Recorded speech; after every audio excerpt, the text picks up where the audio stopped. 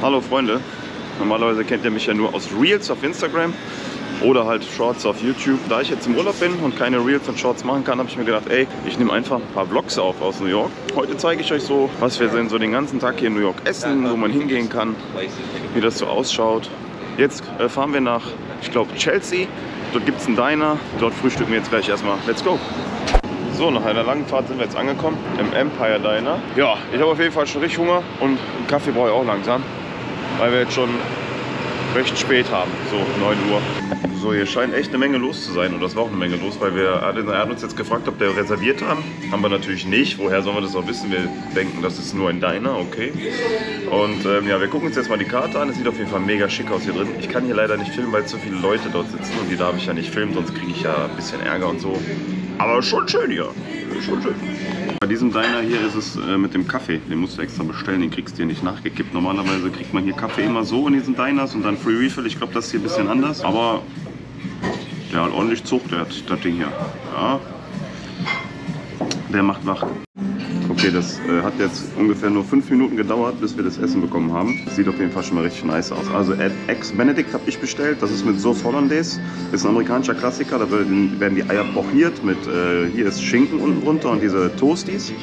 Äh, Kartoffeln dazu. Ich kenne es auch mit, äh, mit Fries. Es ist gut, dass es jetzt Kartoffeln sind, weil Fritten kriegst du in Amerika irgendwann einen Koller. Und ähm, Paulina hat sich ein Omelette bestellt. Ja, ich zeige euch jetzt einfach mal das Essen. Sieht auf jeden Fall richtig nice aus.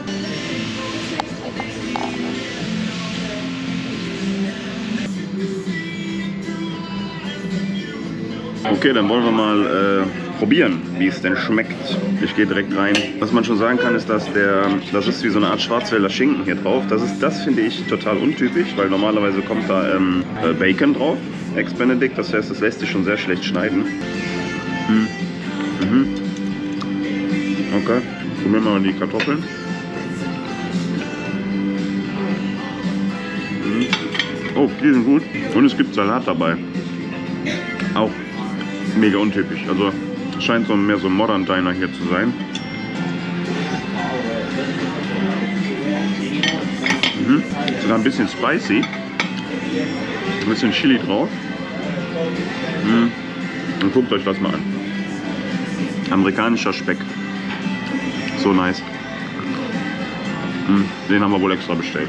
Für ein Frühstück um halb zehn ungefähr ist es natürlich heftig. Danach bist du erstmal mal die nächsten fünf bis sechs Stunden satt. Das ist jetzt mal zu Ende.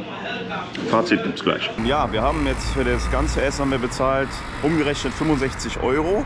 Meiner Meinung nach auf jeden Fall mindestens 20 zu viel, ähm, weil das war jetzt wohl ein Diner, was ein bisschen, bisschen gehobener ist, sagen wir mal so. Also nicht so klassisch, wie man das kennt. Schade eigentlich. Es war vom Essen gut, aber der Preis ist halt na klar, wir sind in New York, da muss man damit rechnen. Wir, wir gehen jetzt zu den Highlines, danach gehen wir ein bisschen shoppen. Dann steht heute noch Freiheitsstatue an und dann kriegen wir bestimmt zwischendurch nochmal Hunger.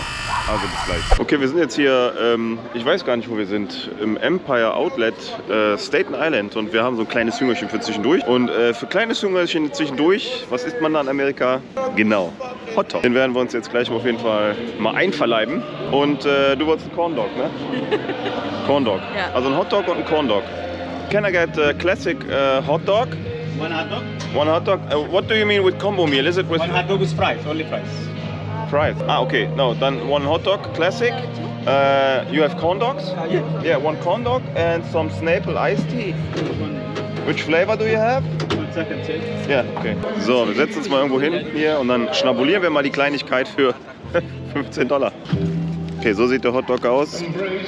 Ganz klein. Und das da hinten ist die Bude.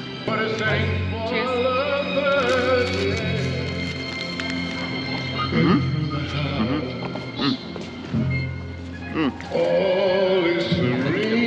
Ich muss sagen, der schmeckt ganz gut. Wir haben gestern schon so einen kleinen gegessen. Da war die Wurst so komisch. Aber was immer wichtig, also was man sich merken kann, diese gelben Autos hier, Nathan's Famous, die sind ganz geil. Also ich würde sagen, schmeckt. Und die Musik, ne? Mal gucken, wo wir gleich was Richtiges schnabulieren. Hm? Oh, lecker. So, wir essen mal zu Ende. Guten, bis gleich. So, wir waren jetzt schön Weihnachtsshopping machen. Wir sind in irgendeinem Outlet gelandet und wir haben natürlich übelst Hunger. Und direkt an unserem Hotel gibt es für mich die beste Burgerkette der Welt. Kann man mich jetzt auch für steinigen? Wendy's. Da. Und dann gibt es den sogenannten Baconator. Den gönnen wir uns jetzt sowas von, das könnt ihr euch gar nicht vorstellen. So, wir haben ja so ein Bestell, das kennen wir ja aus McDonalds. Und ich möchte jetzt einfach ein Baconator bestellen. So, Baconator. Da. So, das hat jetzt alles ein bisschen länger gedauert hier. Hm, Pommes sehen hier immer so aus. Ja, so ein bisschen ungeschält von oben, aber das ist ganz normal hier in Amerika. Hm. Fehlt ein bisschen Salz. Ich muss sagen, das Wendy's hier ist, glaube ich, nicht das Beste, was wir ausgesucht haben. Aber schauen wir mal. Der Burger ist auf jeden Fall frisch. Ja. Dann würde ich sagen, probiere ich das Ding mal. Gut. Mm.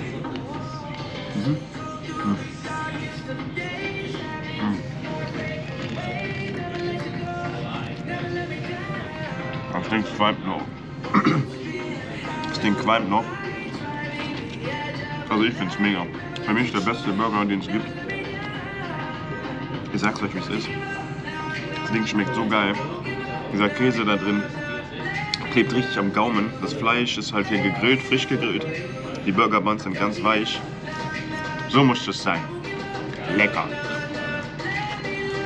Ja, ich glaube, das war's für heute, oder? Gehen wir gleich noch was essen. Aber wir gehen noch zum Weihnachtsmarkt jetzt gleich hier.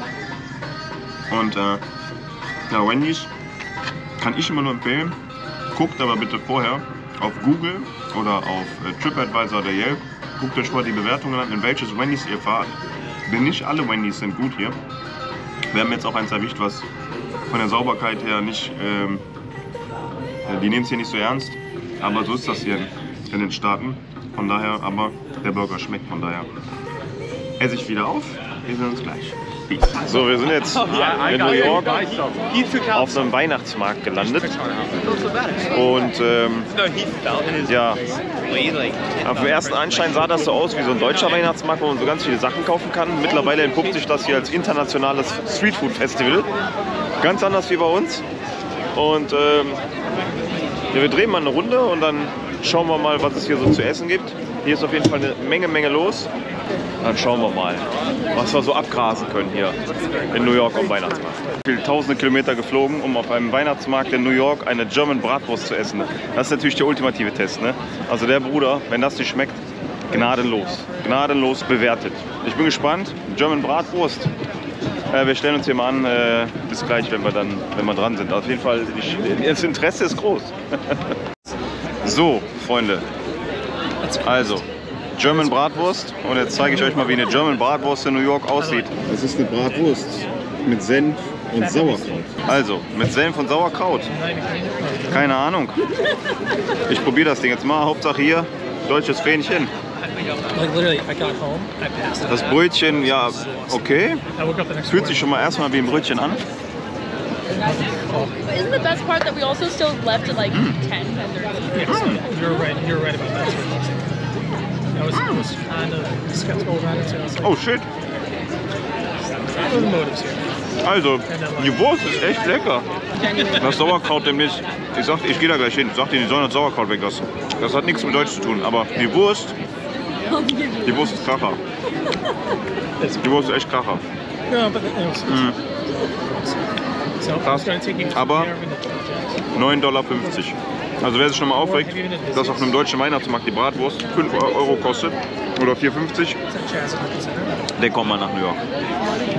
Also ich würde sagen, hier kann man das nochmal sehen.